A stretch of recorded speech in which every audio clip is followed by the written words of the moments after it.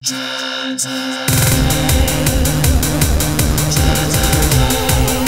guys, we are in the basement and today, yes, today guys, we are gonna do part number three of the 1971 Nutting and Associates Computer Space Restore. Yes guys, right there, that's it, the very first commercial video game of all time. Anyway, let's kind of quickly review because in the last video, part number two, what did we do? Well, we kind of we dabbled a little bit with the television because the computer space over there has a, a, like an old vacuum tube. That's right, literally vacuum tube General Electric television set in it. Okay, so in the last video, we kind of screwed around with that and didn't get too far. We, we couldn't really figure it out. And so we kind of went on to the power supply. We rebuilt it with the, with the rebuild kit my, my friend Tothwolf sent us. And we got the power supply working. So right now we have like a steady 5 volts going to the gaming PCB. However, our television is not working. So what are we gonna do in this video? Actually, I'm not really sure, but uh, we're gonna kind of dabble and, and just kind of probe around today and see if we can kind of deduce what is going on with that television set. So, since the last video, I went on eBay and I found this, which is actually super cool, okay? This is the original 1972 computer space manual. Yes, this is not a reproduction, this is not a printout from, uh, from a PDF. This is the actual original manual, which is pretty cool, I have to say. Now, I don't know if it's complete. I think it's missing some stuff, and actually, a lot of this stuff is already available online in PDF format. However, how cool is it to have in a copy of the original? So, let, us kind of go through this together. And, and, and what I've, I've, been looking through this, trying to get some direction, and I kind of have a little bit of direction after reading this stuff. Uh, and I, I just kind of want to share that with you guys. So, all right, let's just kind of look at this together, okay? So, uh, uh, on the first page of the manual, there are some instructions, okay? And, and it's very basic stuff, you know, check for shipping damage, check that the wires are firmly connected, blah, blah, blah. You know, very, very just kind of common sense stuff, right? Uh, second page goes on, just kind of explaining what all the parts are. And by the way, how cool is this? Um, if I can help uh, answer any uh, questions concern, concerning this machine, please do not hesitate to call me personally, Nolan K. Bushnell, Chief Engineer. Of course, we all know Nolan went on to found, uh, uh, you know, to, to, to, to create Atari uh, and all that, and the rest is history and, you know, Chuck E. Cheese and all that stuff. So, how cool is that? Anyway, continuing on, computer space troubleshooting guide. Again, a lot of this stuff is common sense, you know. It basically just says make sure the TV adjustments are correct. It says to check the power supply. I mean, we've done all this stuff. And then it says eventually, you know, the computer's bad. And then it goes into the computer here, explaining what each board does. There's three PCBs. The top board is the memory. The function is rocket, image generation, sausage, etc. Sausage, saucer. Uh, the middle board is the motion board, saucer motion, saucer missile, etc. Failure modes, jerky, excessive, blah, blah, blah. You know, we're not here yet because our television isn't working. and We have no picture. But once we get a picture, I guess we could use this to kind of give us some direction. You know, the bottom card is the sync star. Uh, failure modes, no or improper time, no horizontal or vertical hold, etc., etc. PC board, PC boards are keyed. Uh, the control panel, blah blah blah. Okay, so we're not there yet. But what what is really cool in this is this page right here. Okay, and so I've been looking at this, and, by the way, uh, also with the original manual, I, I, I got this here, which is a schematic of of the wiring diagram for the control panel and stuff. Uh, which I don't think we're really going to need. And then also I got this right here, which is a schematic for the monitor or the TV, the S3 chassis, which is what I have. It's funny, uh, since I've been researching this, I'm realizing that they called this TV either an S3 or an SE. It seems to me to be the exact same thing. So this is the, the schematic for the S3 chassis from GE here, I guess. And uh, so this might prove to be handy. I don't know, okay? But anyway, looking at this right here, okay? So this is the... Uh, uh, the television chassis right here and says here V6, V3, V4, V5. These are the tubes, the vacuum tubes right here, okay? And then it has here symptoms and probable cause, okay? So let we're, we're gonna go to the computer space and I'll show you guys what it's doing, but we did kind of talk about this in the last video because right now we have just a white screen. Okay, we have raster, but it's just white. Okay, and so it, it so it says here no video picture or poor contrast. Well, that kind of sounds like what we have here. Probable cause uh, is the, either the contrast is turned down or V4. Okay, now V4 is right here. That's a picture tube. Okay. That's interesting, okay? And then it says here, no sound or low distorted sounds. Now, we also have an issue where there's no sound. Now, if you remember in the last video, we tried hooking up an NES to it, and I hooked up the, the sound output of the NES to the sound input of the TV, and we got no sound. So the symptoms that we have right now with the television television is we have no sound and we have no video okay? Now it says here if there's no sound you want to look at v5 which is this tube right here okay? So i think this is where, where i want to start right now. I want to focus on v4 and v5 which are these two tubes uh, and it's basically the video output and the, and the audio output okay? Now could it be possible is it possible that both of these tubes are bad which is causing us to have no sound and video? I think it's likely okay? And then also i want to show you guys this because Tothwolf sent me the photo fact for the television, okay? And actually, after the last video, a lot of you guys were telling me, John, you need to get the photo facts. Well, actually, I already had it, and it, it's right here. And if we look in here, and by the way, photo facts, you know, what is this? This is like old school, guys. You know, this is like going to the library and getting the microfiche and having them print out a manual from the 70s, and, and which I think is what Tothwolf did, or he went to some service that pulls out the films and prints this out.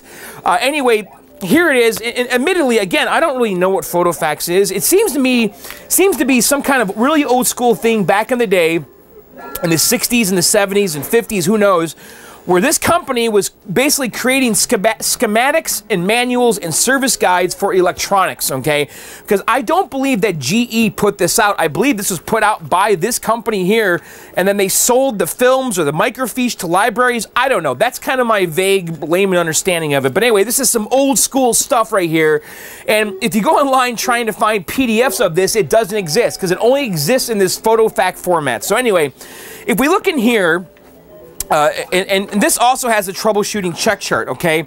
And if we look in here, it says, uh, it says no picture, no sound, has raster, okay? And, and that's what's happening right now. We have no picture, we have no sound, but we have raster, we have a white screen. It says here V1, V2, and X2. Now, if we look on this diagram, V1 and V2 are exactly those two tubes that we were talking about over here, okay?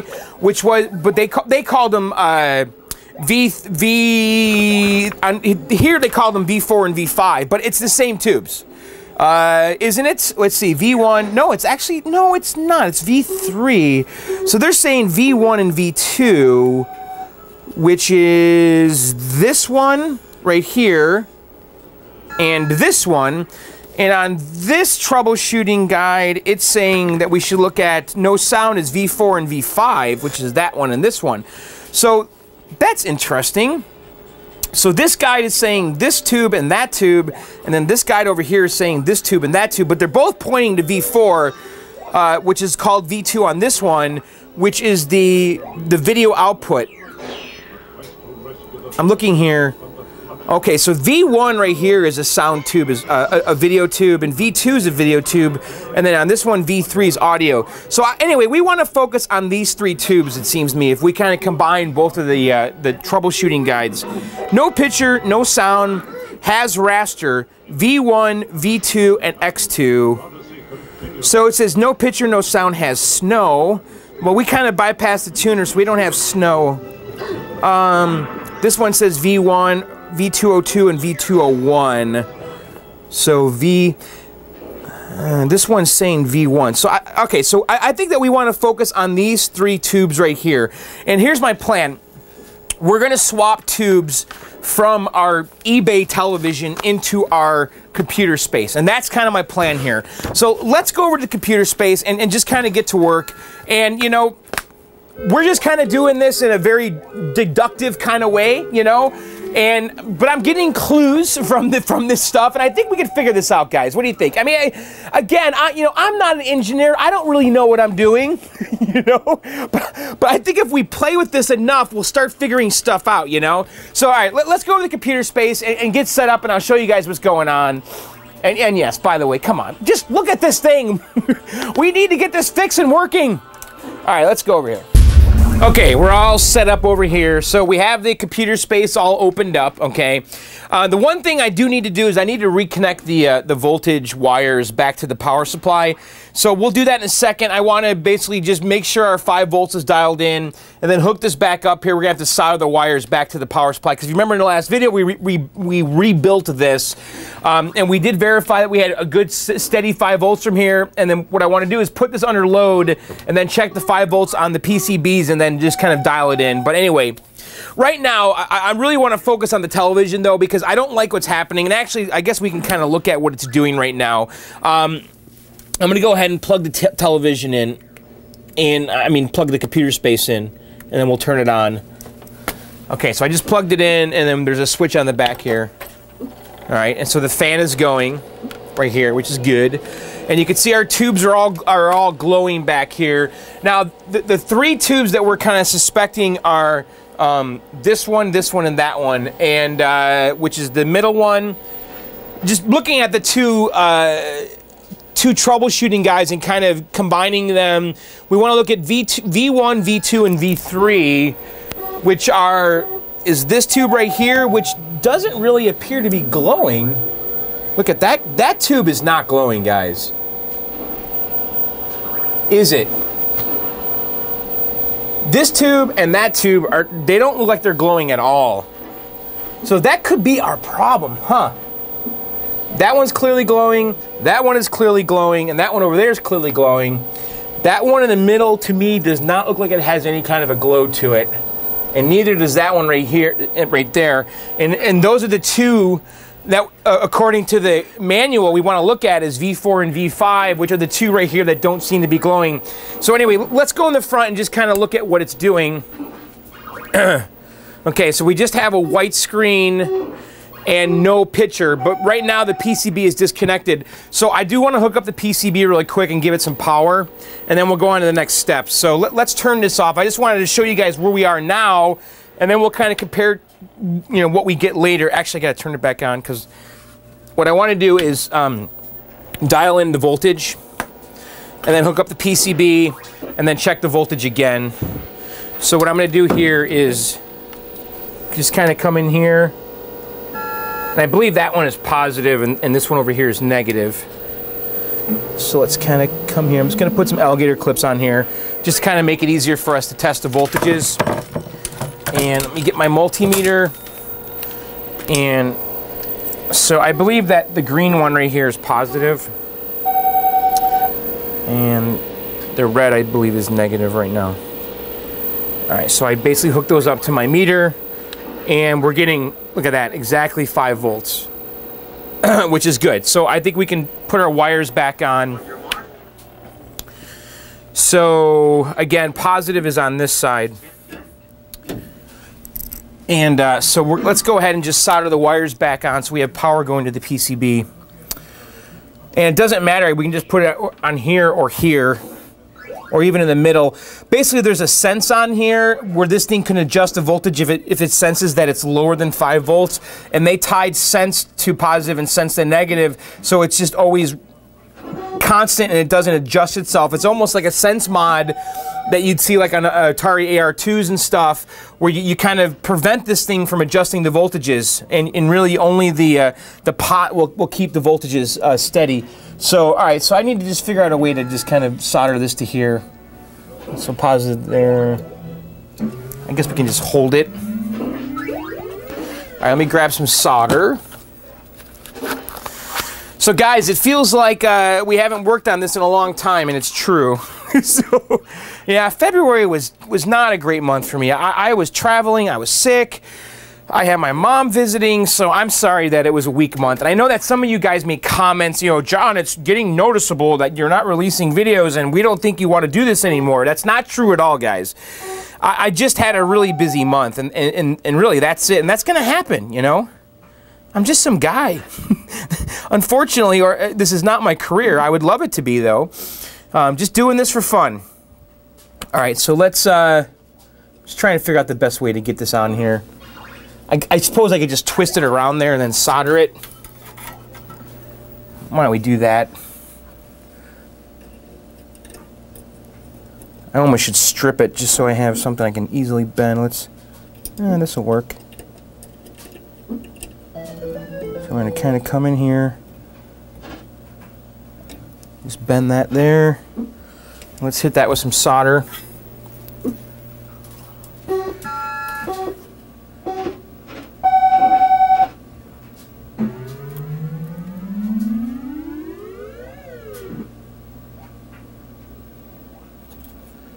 I'm not really sure if this is getting hot enough here.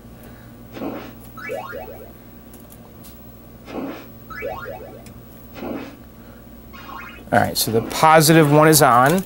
And let's go ahead and solder the negative one. And yeah, on this game, red is positive and white is negative, which is not, you know, typical. It's usually black being negative and red being positive, but I'm just kind of fold this over and do the same over here.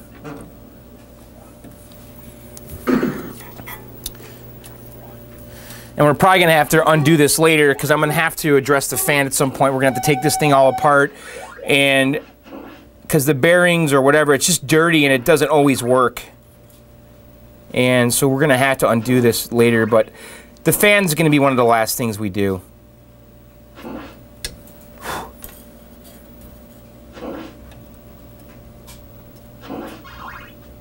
And I'm just kind of holding the soldering iron here until I see it kind of get sucked up.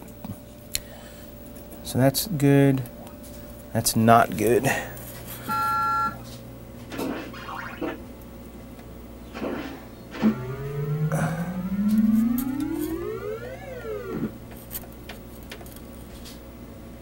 Oh, for God's sakes, get on there.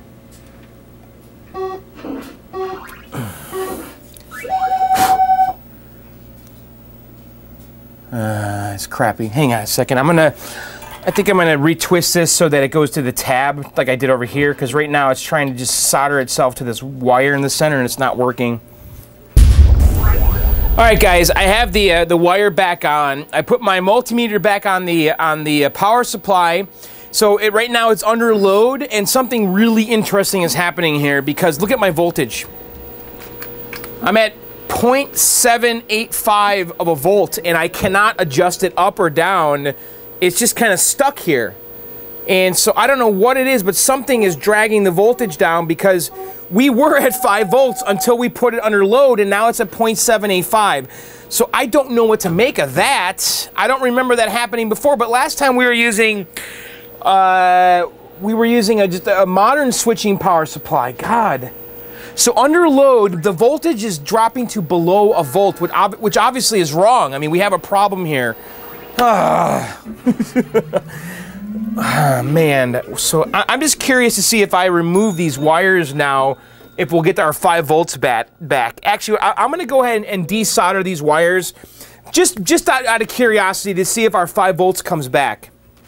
Okay, I, I disconnected the, uh, the, the leads, uh, the wires there for the power supply that are going to the PCB. And so now I'm measuring the voltage at the power supply and look, our 5 volts is back. so what does that mean? So under load, I'm just adjusting the pot right now so I can get it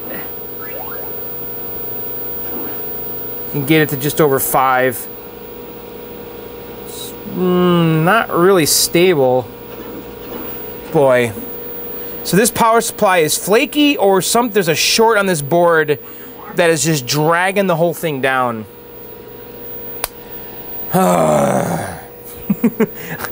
I wanted to be working on the TV right now. Okay, so what are we to do? Um, I really want to see the 5 volts at the board. I just feel like uh, we can't continue I'm wondering if I should reseat the board really quick.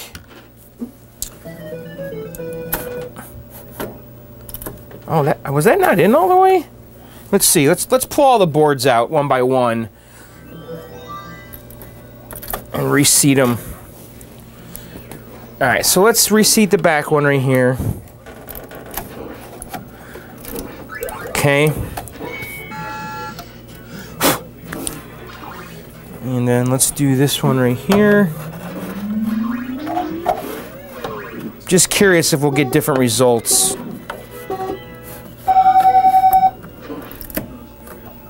Okay. And let's put this one back in.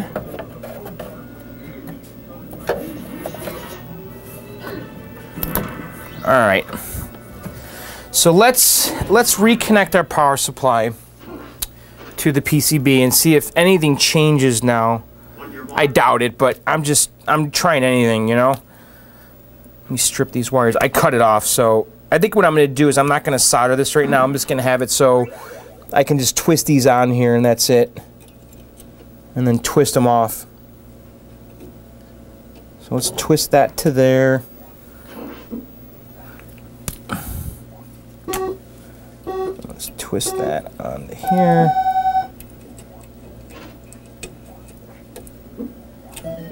Okay, so now let's measure again under load and see if anything changes. I really doubt this is going to do anything, but I'm trying anything right now, so... Alright, so let's measure our voltage at the power supply under load. So this is positive, and this is negative. Yes, I know I have the colors all messed up, but with the alligator clips. Alright, let's turn it on now. Nope, 7.79 volts. Look at that. Something is totally just bringing the voltage down. Son of a...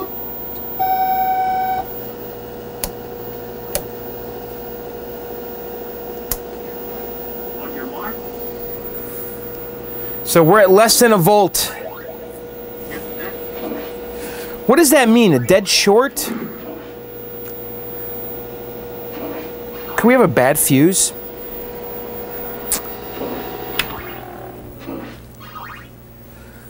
Oh, guys. Not happy about this. Um, I'm just going to check these fuses really quick.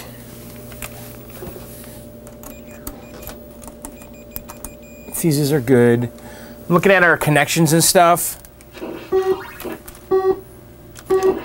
Boy, you know, John is a little over his head. I'm not going to lie to you, you know. Uh, let's see, we got these terminals. So the voltage.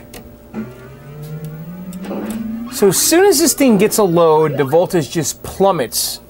And it works perfectly fine when it's not under load. What does that mean? Hmm. Let's see, we our, our wires come down into here, and then they go through here, okay? And then they get distributed up into the board. It's really weird because when, when Adam and I had the switching power supply, we were testing the voltage at the PCB and we were able to measure 5 volts on one of these chips. But this power supply, so I don't know if the problem that I have right now is a power supply issue or is it is it some kind of a dead short on the board that's just sucking the voltage right down. I don't know. And I don't know what to make of it. So I'm wondering what, what we do right now because that's not working. Do we move on to the television and then come back to the board right now? God, that's troubling because we had 5 volts at the power supply. Now it's under load. Now it's going down to less than a volt. What does that mean? All right, hang on. Let me let me research this and we'll, we'll think about it. All right, guys, I'm back and I have a plan. Okay, so I talked to Ian Kellogg actually. I said, "Hey, what do you think? Uh, power supply uh, when it's when it's not under load." You know, I'm getting five volts. As soon as I put it under load, we're not getting five volts. And he said, try a different load. I'm like, ah, duh. So, so here's what we're gonna do. Um, so I have uh, these alligator clips on here. I have positive and negative going to uh, my meter uh, over here, okay? And then I also have positive and negative going to this board right here. This is my Teddy Boy Blues board with the JAMMA adapter on it. And so I have 5 volts going to 5 volts right here, and I have ground going to ground right here. Okay, I went online, and looked at the JAMMA pinout, okay? So, and right now the computer space PCB is disconnected from the power supply. Positive is going to 5 volts here, okay? And then negative is going to negative right here, okay? And if you look at the JAMMA pinout, these two pin, these two uh, pins on the outside are ground. These two pins on the outside are ground, and then the first two here are five volts. The next two are, are 12 volts. So anyway, we have five volts to five volts and ground to ground. So let's turn this on and, and see what happens. Um, just coming back here. All right, so our our power supply is under load, and look, guys, it's at 0.49 volts. Okay, so that tells me that the problem we're having right now with the voltage is the power supply. The power supply, for whatever reason, when it's under load, is not outputting 5 volts. So we're going to have to revisit this power supply. And as I adjust it, it's not changing at all. So the issue is the power supply. That's good, actually. Um, so I think what we're going to do is... Uh, I, am not prepared to revisit the power supply today. I have to think about this and look at the schematic, and and I don't really know what parts are even left on this thing or what could cause that. Uh, you know, it's funny. I should go on eBay because there was there were some of these on eBay. This power supply, the OLV 15-5, and uh, I'm tempted to buy another one just to see what happens.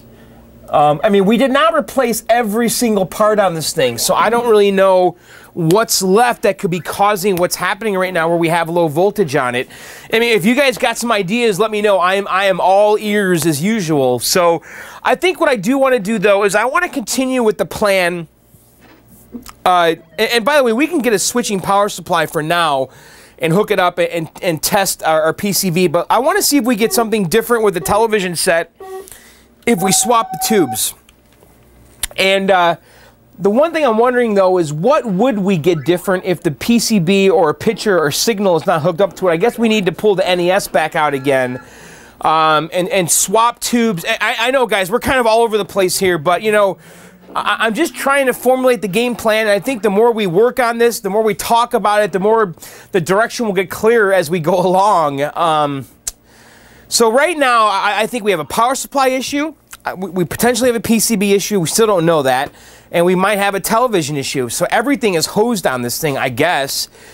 Huh, why is the power supply not outputting 5 volts under load?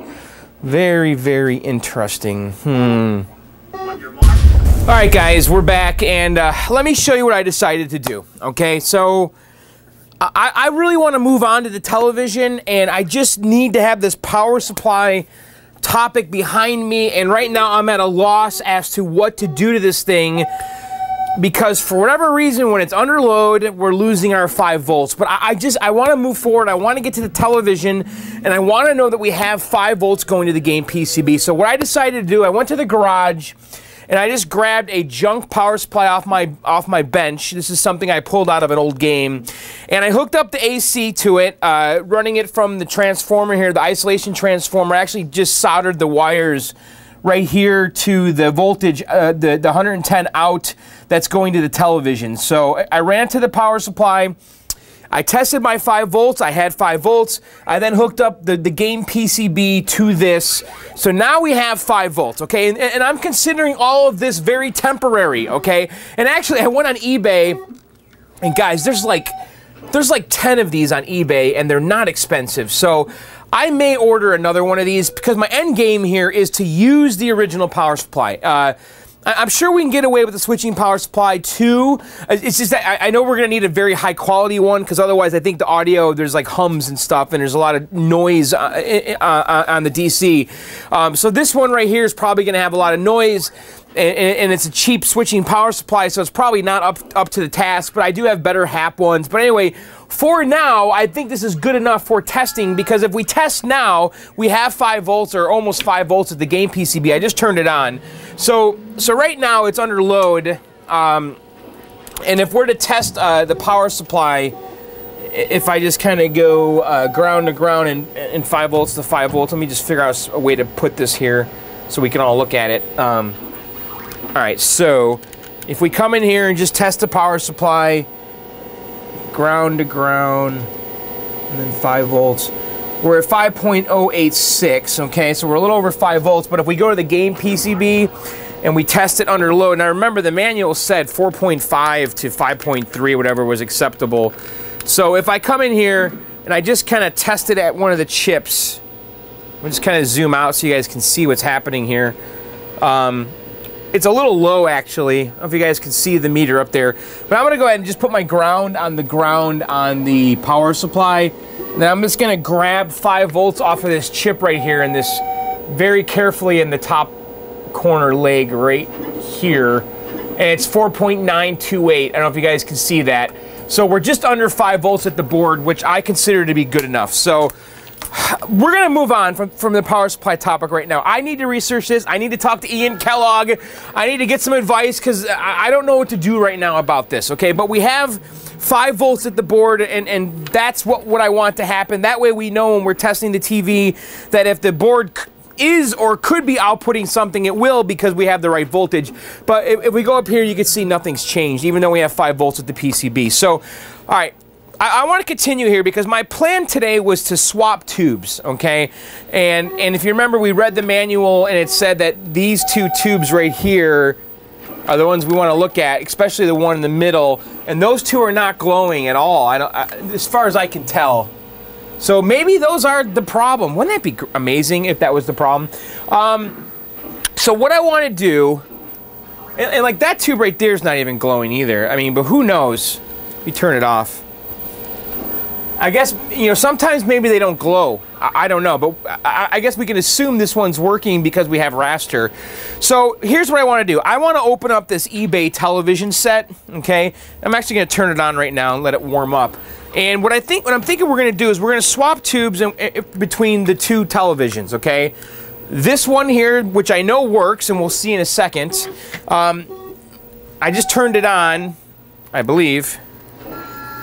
Okay, yeah, so it's warming up. So there you go. So that TV's working. And I, I, I wanted to order an RF adapter.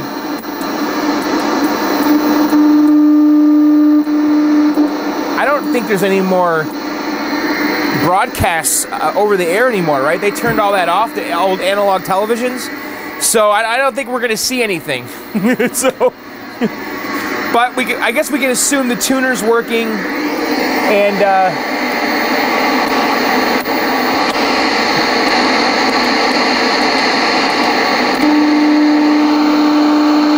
I guess we can assume that the TV works. That's the InstaView. All right, so let's turn this off and what I want to do is I want to open this TV up and we're going to compare the two, okay? Because this should be the same TV. Now, we, I want to be careful here. We're going to have to discharge this thing and all that stuff. But um, let's see how we open this TV up because I, I want to look inside here and hopefully this is the same S3 chassis that we have on our computer space. But it looks like there's just one nut right here. Guys, you know, I, I have to tell you, you know, of all the things that we've done, this computer space is the ballsiest of all of them I just don't have a good plan. It's weird. You know what's funny though? Because everything that we've done before on this channel, okay, has been pretty well documented on the internet. You know, uh, you know. So I always kind of knew or I always knew I always had a plan because I would research very very heavily before we did anything and I'd always have a good game plan you know e even when we got stuck and uh, because it seemed like a lot of stuff that we were doing before, uh, other people had encountered and documented in, in one form or another, be it on the old news groups or whatever.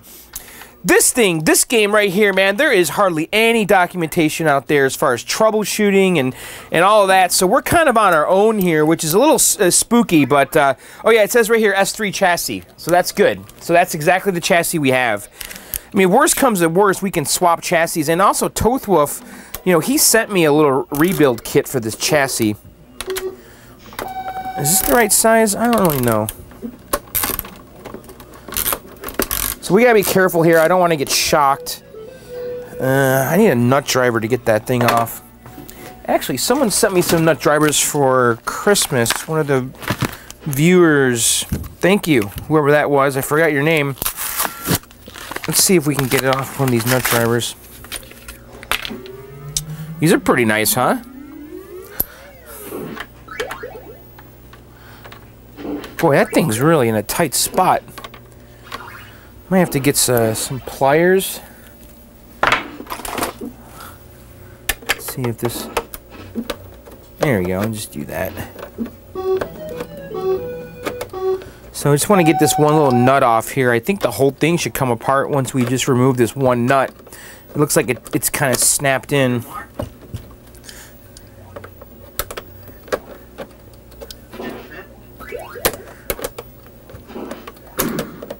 So I, I'm really hoping that when we look at this television set, we'll, we'll be able to kind of compare and contrast what this is doing with what ours is doing and just kind of deduce what's wrong or what's right.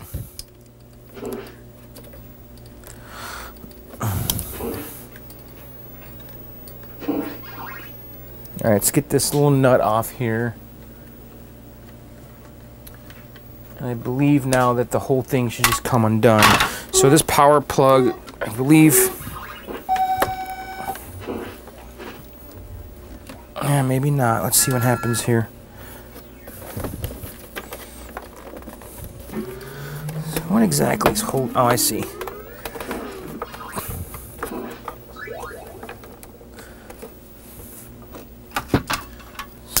sure what's going to happen here. So I got to get this down. Hmm. Oh, I see. Push it there. How the hell do you get this thing apart? That looks like it's part of it. This right here. Push.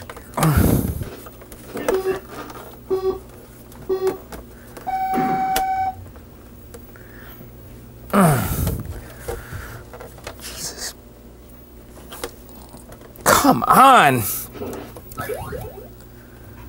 I mean, that is really all that's holding us in, right?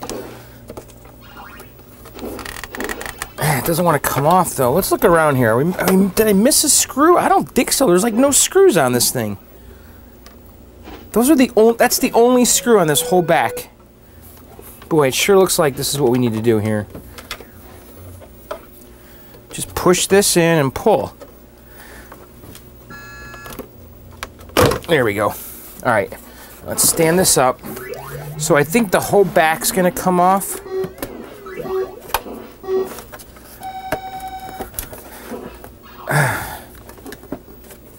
hmm. So what's holding this on? Do I need to remove the antenna? Alright, so I can see in there. Alright. I see. Guys, I've never taken apart a 70s television before. so what is holding this in now? This handle looks like pops out. I wonder if this comes off to reveal something. Hmm. It's not very clear. So the back is totally coming off. Oh, Duh. Okay, there you go. All right, so here's our TV. And so you'll notice that the power plug comes with it. Now I'm to live dangerously here and we're to power it on with the back off. Because I do want to see what tubes glow and what tubes don't glow. And, and we'll just kind of be careful about that. Actually, I want to unplug this from the wall. So you can see that when you remove the back, the power cable comes off. And of course, we want to defeat that little safety feature. So I'm going to have to uh, just remove this right here.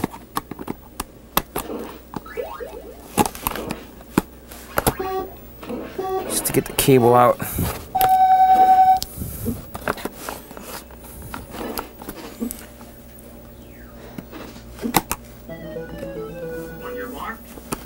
And of course, you know, we got to be careful of the anode. Uh, you know, coming out of the flyback, this is this could really bite us, and we're going to make sure we discharge the monitor and all that stuff. Um, so these are the tubes that we're looking at. This one right here, and this one right here, and that one in the back. And it doesn't look like they're that easy to get to. Um, but I'm curious though when we plug this in if we visually see these glowing because we're not visually uh, seeing them glow on our on our uh, on our computer space monitor. And uh, these guys really made it so that this power cord cannot be plugged into the TV with the back off because this is hard to. Oh, here we go. I got it. almost. There we go. All right, so we can now plug the power cord into the back here. And obviously, guys, I'm being mega careful. You know, I'm about to plug a TV in with the, with the back off. And uh, so let's plug it in and see what happens. Um, hopefully, I don't burn my basement down.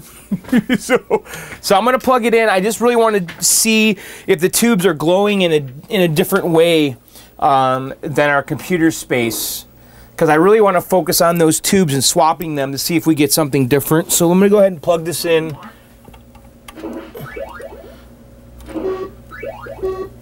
All right. So it's plugged in. I believe the power is on. I don't recall. Yeah, maybe I turned it off. Let's take a look here in the front. Yeah, it was off. All right. So I just turned it on. So the tubes are starting to glow. That tube, okay, those tubes are definitely glowing, okay? And they're not glowing on computer space, guys. Right there. So I, you, you see visual glow on every tube, except for that one. All right, so we are gonna swap those tubes and see if anything changes. Okay, so here's the thing though. These tubes are probably stupid hot, right? I'm gonna unplug this. And I also, I, I feel like I wanna discharge the monitor before we touch the tubes. I don't know if it matters or not, but I, it's probably wise. And I remember on my guitar amps, you know, if you accidentally touch these tubes, um, you could, they'll, they'll, they'll burn the skin right off your finger. Now these haven't been on very long, so I'm not, they're not too hot. So, but just keep that in mind if you ever have to deal with tubes. Now I gotta discharge this monitor to the frame here. Uh, I'm looking for some metal. So I'm guessing right here. I'm just gonna go ahead and just discharge this using my little discharge tool. And let's just see what happens. Okay. Nothing really. Alright, so we're discharged. Okay, so I'm gonna go ahead and do the same on uh, on this TV too. Let's just discharge that, and I'm gonna unplug this too. But let's go ahead and, and put it on this metal right here. I'm gonna come underneath the anode.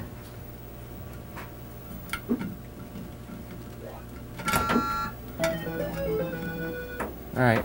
Nothing. Okay. Maybe there's maybe these are self-discharging. I don't know. Okay. All right. So I want to pull those tubes, um, and I think I want to. Okay. So let's just carefully rock these tubes out of here, and let's kind of come in together. It's a little. It's a little hairy. All right. So let's get this tube out of here, and I I've messed with tubes before because my guitar amps. I got old Fender all right, there we go. It's a compactatron. And let's come over to the computer space and, and put this in. And this was the video output tube, which is uh, really the one we want to focus on. All right, so we discharge the monitor. And let's kind of come in here just rock this tube out. Hopefully the socket doesn't disintegrate on us. It's, it's coming loose.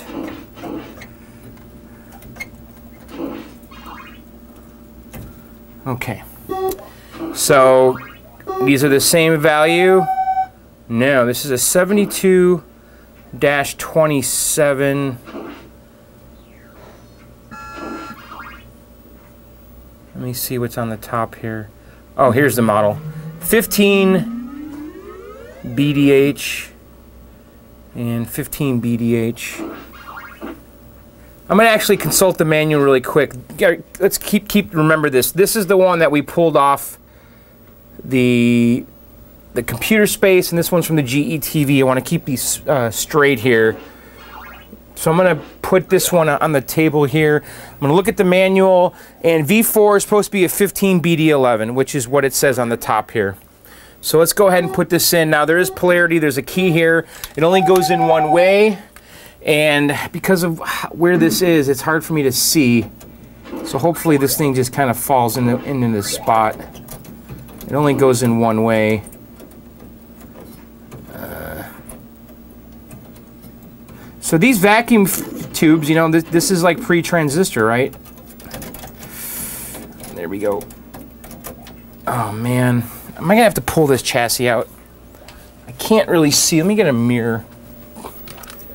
See if we can figure this out. I don't know if this is even gonna do anything. Nope. Alright, we gotta see if we can see the find the key.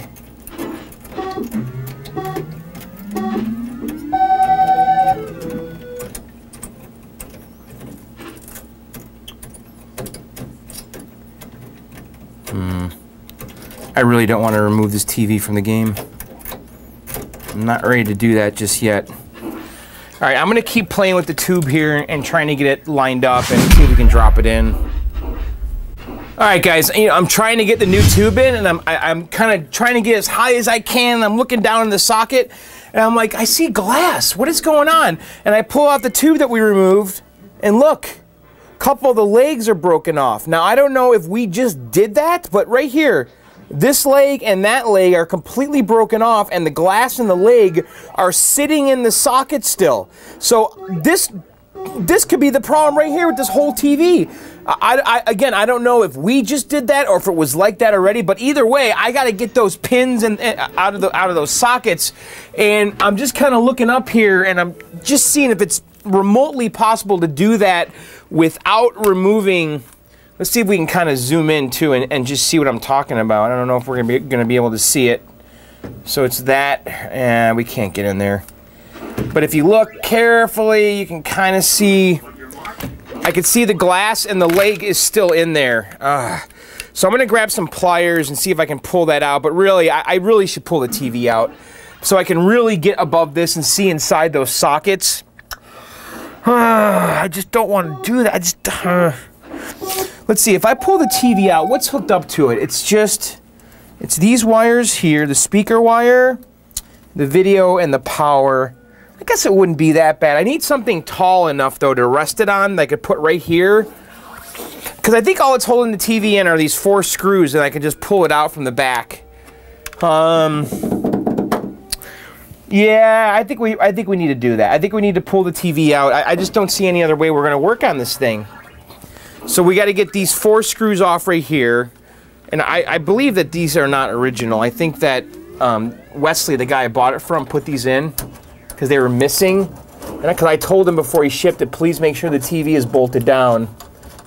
And uh, so I think he added these two because they were missing. So let's uh, let's undo that. And let's yank the TV out, and we're gonna just put it on a surface I need some kind of surface. I don't know what. I'm actually getting excited right now because we kind of discovered something, you know. Um, I don't really know if it's going to pan out, but we discovered something.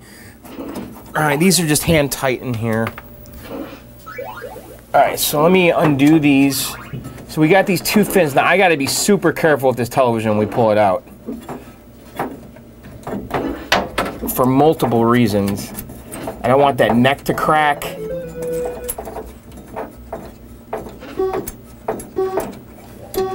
All right, so the TV's loose.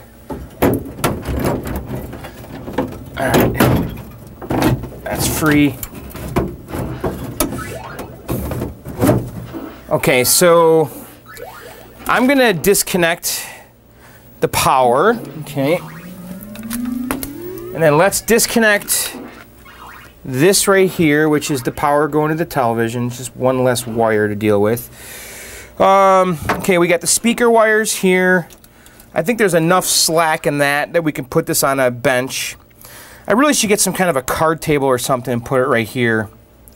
And is there enough slack in this? There might be.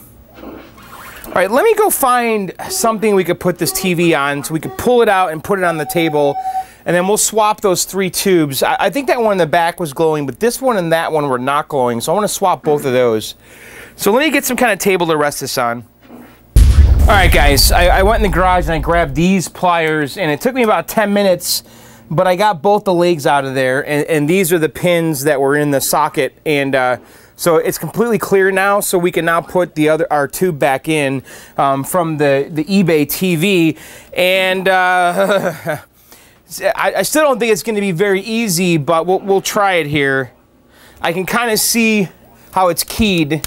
Um, because again, there's just a little gap right here, and I just got to line it up. But I'm just kind of looking down in here, and it looks like it goes like that. All right, there. I think. Boy, this is tough. It's got like this, uh, like, there we go. It's got like an RF shield around it. Alright, that's totally in. Nice. So I suppose we should probably change this tube too because that one was not glowing at all either. And just pray to God for me that these legs don't break off again. Wiggle, wiggle, wiggle. Well, this socket is a little easier to get to too because it doesn't have the shield on it. And we lost a whole bunch of legs on that one too. So you can see right there. So I, I think these tubes were just kind of disintegrated and bad. So I got to go in there now with my needle nose pliers and pull those legs off. Um, you guys can see they're right there. So let's kind of come in. This this is a lot simpler because it doesn't have that RF shield around it, or whatever that shield is. Uh, I'm just trying to be careful. I don't want to make anything worse.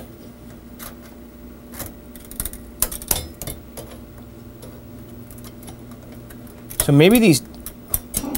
Oh, shit, I dropped the lead. All right, we got one out, but I dropped it on the TV somewhere, so I'm going to have to find that. I don't want it to short anything. So let's get the next one out.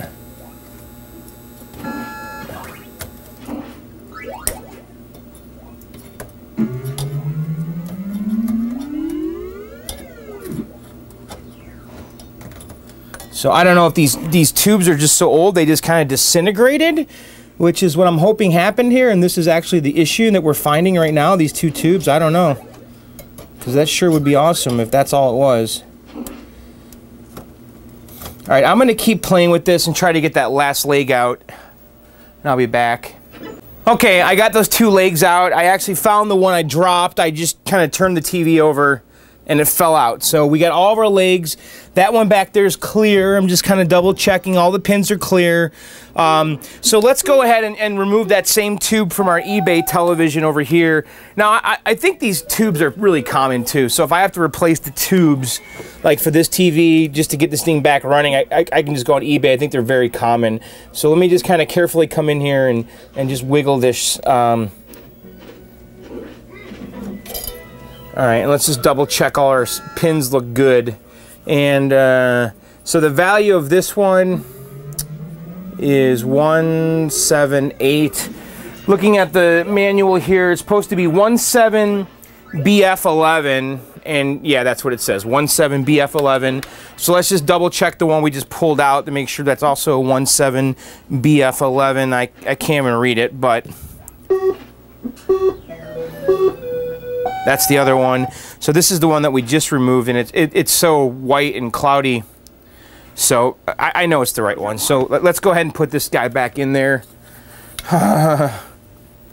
please, please, please, computer space God, make this work after we replace these. All right, so we got to just find the way this goes in. It only goes in one way.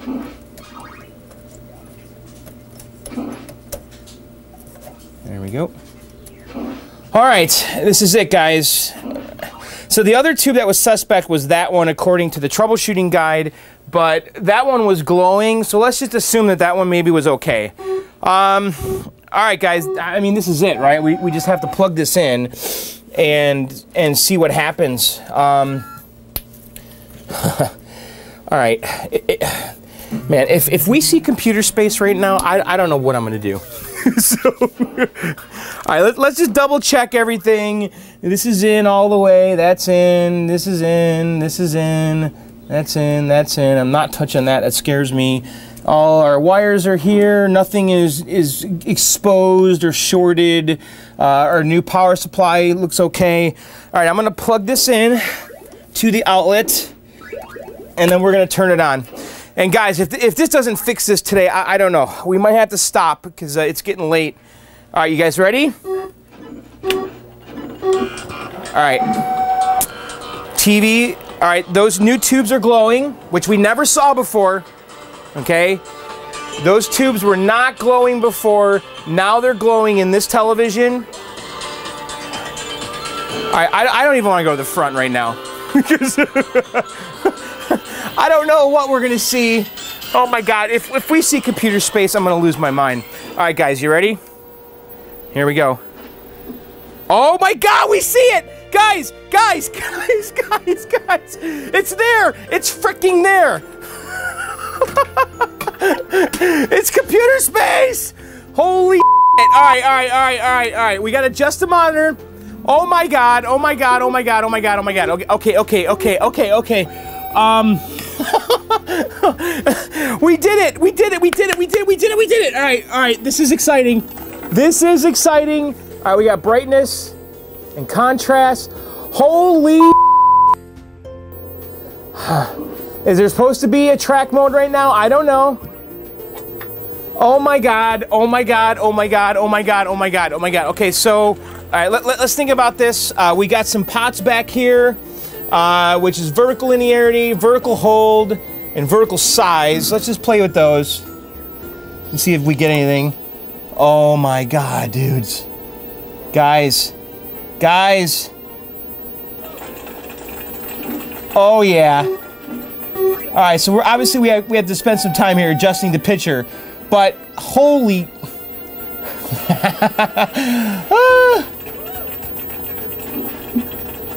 oh my god. All right. I don't know what's what here. What, what is this one here? Oh, this one is horizontal holds. I, I don't think we need to mess with that one.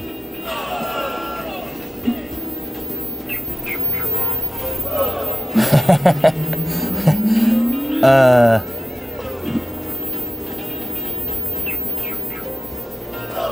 I don't know. We're having a hard time. Now, there's a bunch of caps on here we might want to rebuild. I don't know. It could be could be uh, making this picture out of whack. But guys, I mean, I mean, come on, look at that. So I'm curious what happens if we coin this up. If anything happens, I, am wondering if we get sound too, because. Uh, Whatever, let's just leave it like that for now. Doesn't look sexy, but it's the game. All right, let's turn the volume up.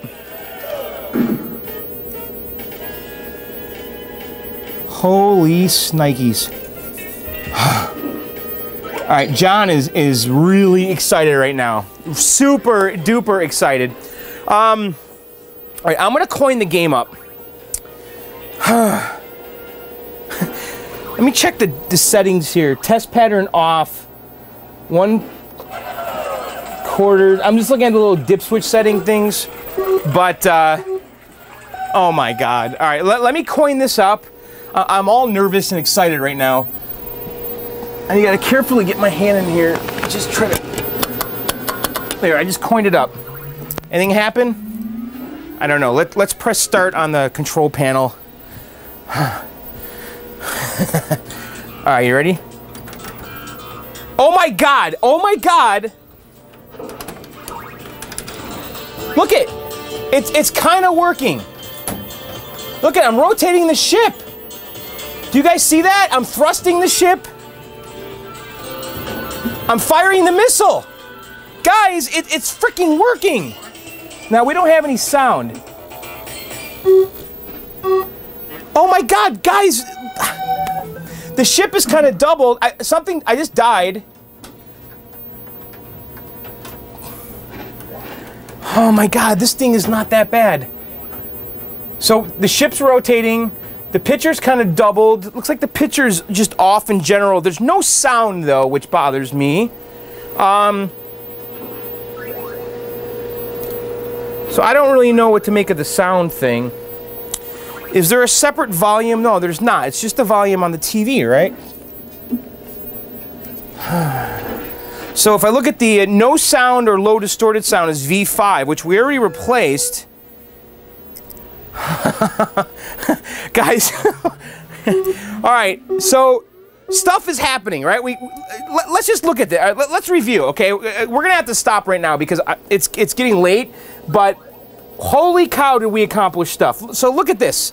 So we have the ship. It's on the screen. The ship is moving. The ship is doubled and tripled though. So I don't know what to make of that, right? Look at the clock. The timer's working. Right? So if I come over to the control panel here, I can that that that is thrust and it's working. Fire is working. I can see the fire. I can rotate. So I can't rotate the other way only because I think that the um, the button is bad. So thrust, fire, rotate. It's all working. The timer is counting up. I, I don't know if it's I, actually I really don't know what it's supposed to do right now. Is it supposed to get to 100 and then stop? I'm not sure. Oh my god. TV seems a little uh, not so stable.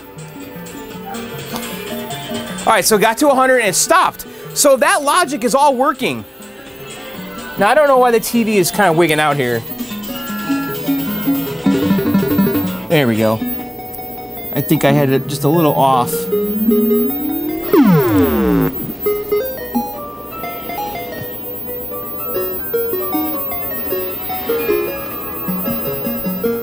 All right.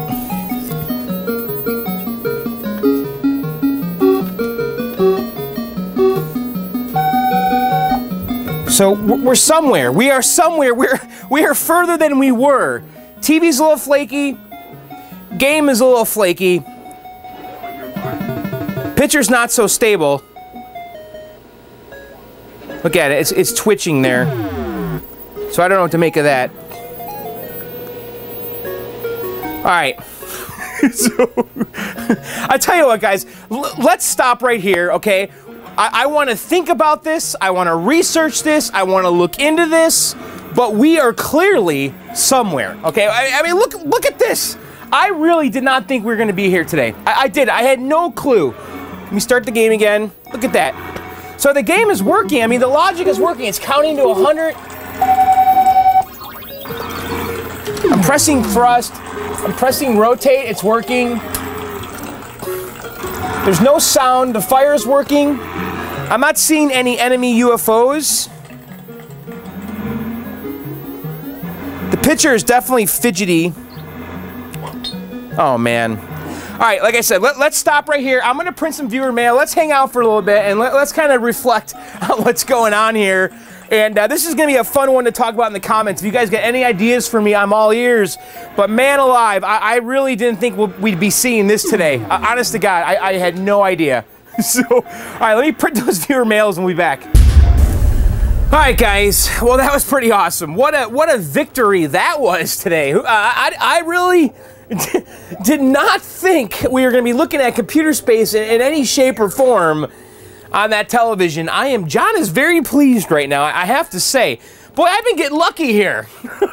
that was absolute luck. I'm, I'm not kidding. Holy cow. But, but now we, we got to get the bugs out, right? We got to we got to fine tune the game because uh, obviously uh, there's a lot still wrong but man, I feel like that was a major victory today in this video. Uh, John is very happy right now. so, so if you guys get any ideas, you know, uh, let, us talk about what's going on with that computer space. Uh, because I, I, so, so right now we got multiple ships on the screen. So what does that mean? We have no sound. What does that mean?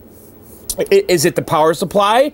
Because uh, I know that Ed Fries, uh, he had problem with, with sound because he was using a switching power supply.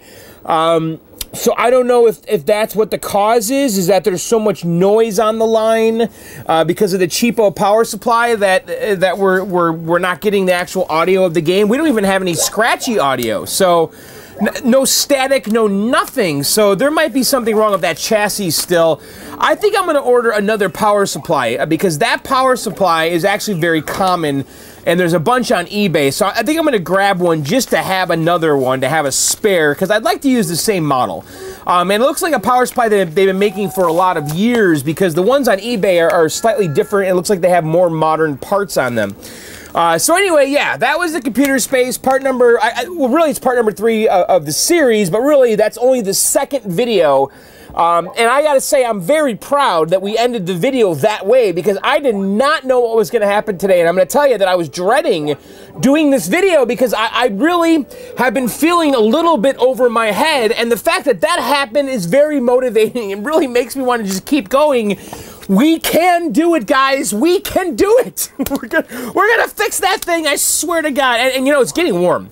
And and really, we're gonna be in the garage before you know it. So we gotta hurry up and get that thing done here in the next month or so.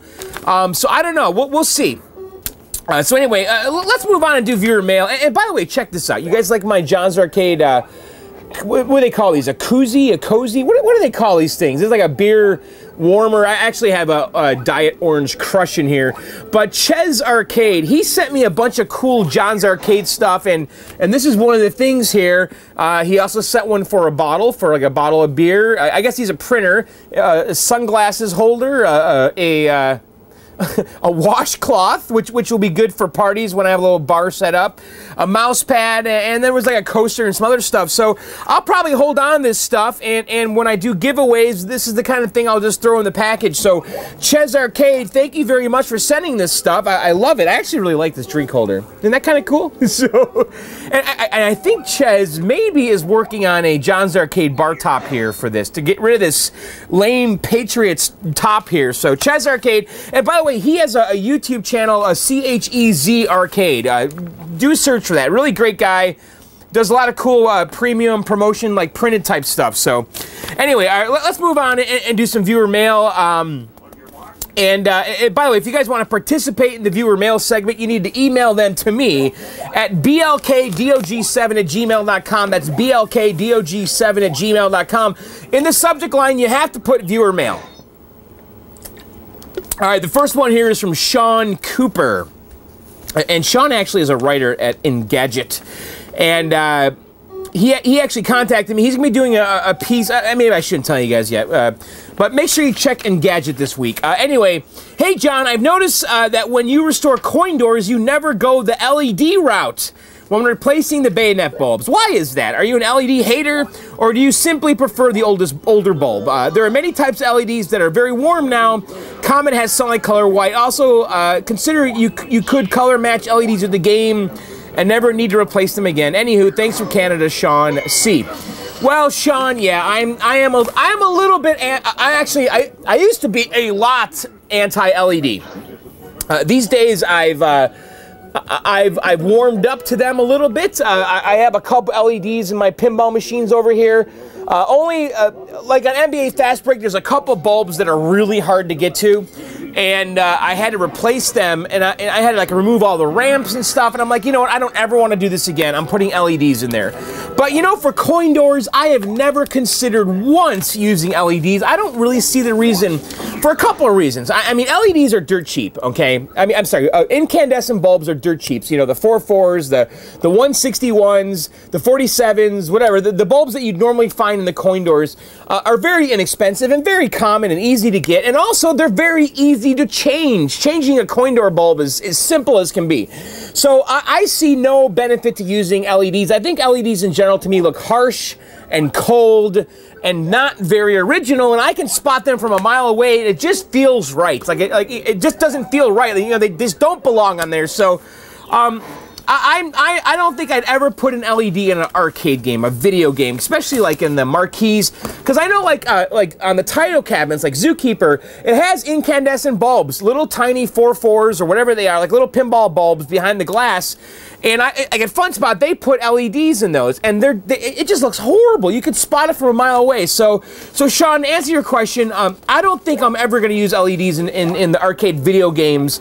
I think over time, though, I, I might warm up to LEDs on the pinball machines. I've really been considering putting LEDs in the world in the Whirlwind because that's a, a very dark game.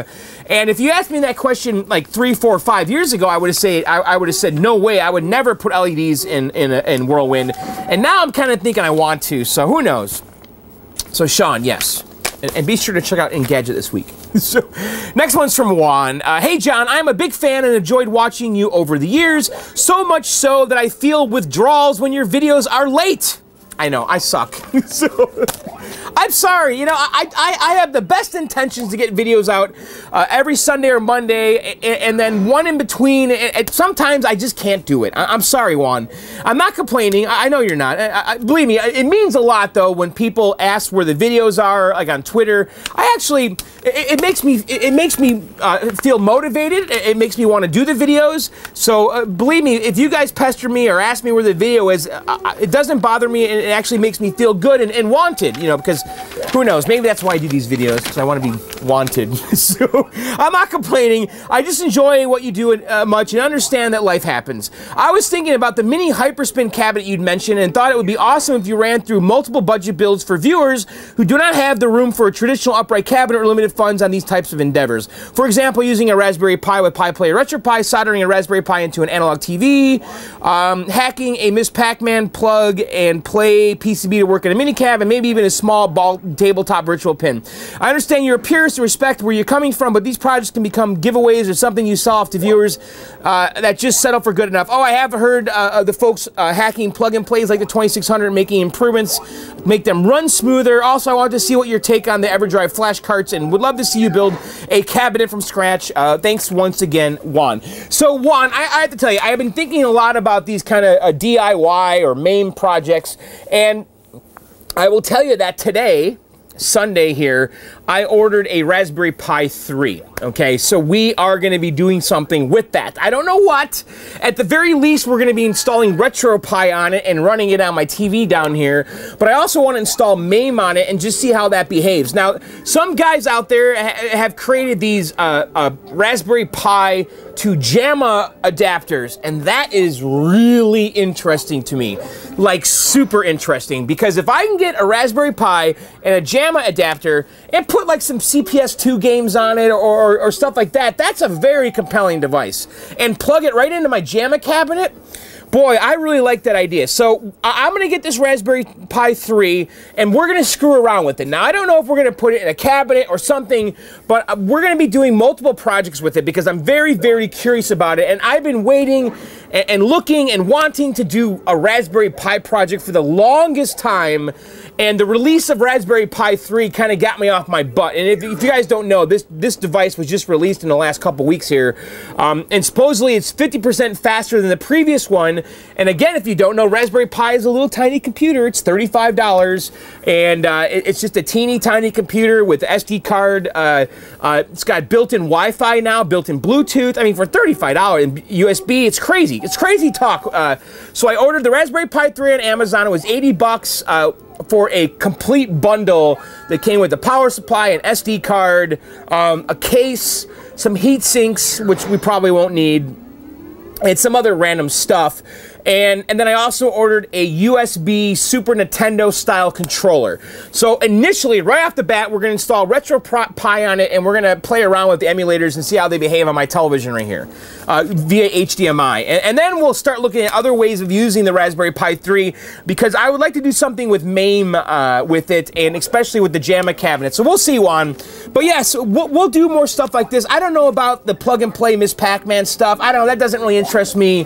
The Raspberry Pi stuff stuff though really does. So, Juan, good suggestions, and, and I, I, I for sure we're going to be doing some projects like that this year. So, all right, uh, viewer mail from Jedi. Uh, hey, John, uh, do you know if uh, the Donkey Kong Internet Kit that we did a review of will work with a 2005-ish Namco licensed multi-cabinet DK DK Junior Mario Brothers. I'm going to say absolutely not. No, no way. Uh, Jedi, you know, those little modern boards that Namco produce, uh, I believe there's some kind of, I, I, don't think they're emulation. I think they're FPGA of some sorts, but uh, understand that the daughter board that this guy made to plug into an original Donkey Kong board is using the Z80 processor socket, okay? And also it's it's using the uh, a modified version of the original Donkey Kong ROMs, okay? So that thing plugs into a Z80 socket and then also has the original code that that board is designed to run. So the Namco hardware that's in those modern 2005, those reunion style cabinets, completely different. Uh, especially the ROMs, you know, there's probably one little ROM file that has the, the image for DK, DK Jr., Mario Brothers. So right there, it's already different. And there's definitely not a Z80 on that thing. At least I don't believe so. I, I, I believe it's an FPGA of some sorts. So Jedi, I'm going to tell you right now, there's no way that that thing works. I don't know if those guys can add support to that. That's probably a very closed system, very, uh, you know, surface mount, teeny tiny components. I, I, don't know if you can get into that thing and, and modify it. So sorry, buddy. Uh, next one here is from Tim. Uh, John, I wanted to say thank you for giving me the inspiration to buy a soldering iron. so, before watching your videos, I never ever would have touched one. Last week I had a video port go out on a TV that I use in my main cabinet. I would have recycled it, however, only Sony seems to manufacture 13-inch televisions with a video port on the back. I paid $100 for it on eBay. In a nutshell, I had to fix it. I popped the back of the TV off, noticed a broken solder point, heated up the soldering iron, sucked it off, applied new solder by heating up the pad and not the solder, pro tip, and I placed it back in my cab, and bam, good as new. The feeling was undescribable. I told my wife I feel like an electrical engineer. I am now officially a solder guy. Thanks, Tim. Tim, I love this story because you know what? We've all been there. I've been there. You're scared of stuff. Like today. Today is a perfect example. Computer space. Guys, I am scared to death about this, Tim. You know, you know, Tim, the way you felt about going approaching this TV is no different than how I felt today with that computer space. I have never worked on a television like that. I've never even looked at a television like that. I'm scared to death of it, okay? But you know what? I kind of got over it and I, I just used my mind and, and, researched and we got something to happen today just like you. And, and by the way, and so I, I want to encourage you guys to do this stuff, you know, because in the beginning I didn't know nothing, and you just you learn this stuff by trying it and, and having just the balls to do it, you know. And so here's Tim's cabin. I actually printed this full page. Um, it's the picture's a little dark, but Tim, I gotta tell you, I love this cabinet, dude. I really do. I that is great. It's some kind of a generic cabaret. Who knows what it used to be? It doesn't look uh, recognizable to me. Maybe it's a scratch build. I don't know. But Tim, I printed this because I, I thought that was really sharp. So that's a little MAME cabinet. And I think it, you did a great job with it. It's very tasteful. I, I looks, it looks original, like, like, something that would have existed in the 80s. And uh, it looks great, dude. So congratulations uh, on, on getting uh, over uh, your fear of using a soldering iron and just diving in. And, and, really, guys, that's what we need to do to get to, to, to fix this stuff. Computer space today, guys. I've never done that before. I didn't know what I was doing, but we made something happen. So that was exciting. So anyway, all right, that's it for this video, guys. I hope you enjoyed it. Um, you know, again, if you want to participate in the viewer mail segment, email them to me at blkdog7 at gmail.com. That's blkdog7 at gmail.com. In the subject line, you got to put viewer mail. You know, if you guys got if you guys got feedback for me on what we did today, uh, I, would love to hear it. You know, if you got some ideas or whatever. Um, oh, one more thing I want to tell you is, is, that we I did pick the three winners for that raffle we did. I haven't sent the stuff out, and, and it's just it's my own fault. So if you guys won the raffle for the T-shirt, the CD, and the IanKellogg.com cap kits uh, with the John's Arcade branding, I'm sorry, guys, I haven't sent it yet. I'll get it out this week. Um, I, I promise you'll get it. So let, let me I, I, will try to, actually, I'll probably do it after this video. I, I gotta get it together and, and print the postage and, and all that stuff and get it in the mail. So, guys, you'll you'll have that stuff the next week week or 10 days here. So, I'm, I'm sorry if you haven't gotten it yet. So, but don't worry, I, I will send it. So, so, anyway. Oh, by the way, you know, eh, you know, Ian Kellogg and I are, are doing like cap kits together. So, be sure to go to his site, iankellogg.com, and we're gonna be doing, doing some more fun stuff with those kits, like stickers and stuff, and we'll be talking about it more later. So, anyway, again, that's it for the video, guys. Uh, if you've never subscribed to my channel, uh, be sure to do so. I release new videos on Sundays and sometimes in between. Um, uh, tell your friends, like, comment, all the good stuff. Uh, let's see what else. I have two podcasts Video Game Outsiders at videogameoutsiders.com and Arcade Outsiders at arcadeoutsiders.com. And then Arcade Outsiders are going to be doing an event uh, June 2nd and 3rd at Fun Spot in New Hampshire, USA. Um, this is an Arcade Outsiders event. Joe, Sean, and myself will be there, and also Greg from Arcade Impossible. If you guys go to arcadeoutsiders.com, I have all the details there. I really want you guys to show up. It's going to be a lot of fun. It's going to be an arcade tournament. This is the new Fun Spot annual tournament, and that's June 2nd and 3rd. And guys, that's coming up really soon. So go to arcadeoutsiders.com. I have all the details there. So anyway, that's it. I'll, I'll see you guys very soon. We'll, I, like to do a midweek video. I got a couple little random things I want to do. I want to get back to Donkey Kong. There's a little device I picked up I want to talk about. So who knows? And, and we'll, we'll, get back to computer space. I, I, don't really have a game plan right now. What what do we do next on the computer space? I don't. I actually I don't. I don't really know. What are our next steps? So anyway, that's it, guys. I'll see you soon. Later and bye.